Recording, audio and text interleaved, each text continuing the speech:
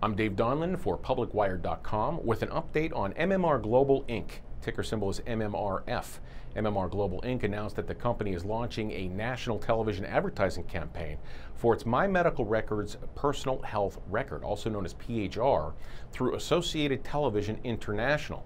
Consumers are becoming more aware of the importance of having a personal health record so that in the event of a medical emergency or disaster, copies of their actual medical records, important documents, and travel history are securely available from any internet connected device. Two nationally syndicated television commercials, including retailer tags, can also be seen at youtube.com. The commercials focus on the value of being prepared for any medical emergency and the benefits of having a PHR as part of a family's disaster preparedness plan. My Medical Records Inc. is a practicing entity and a leading provider of secure and easy to use personal health records through its My Medical Records PHR and MMR Pro document management and imaging systems for healthcare professionals. MMR currently has 13 issued U.S. health IT patents.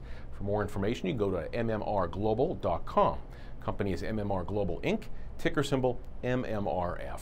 I'm Dave Donlin for PublicWire.com.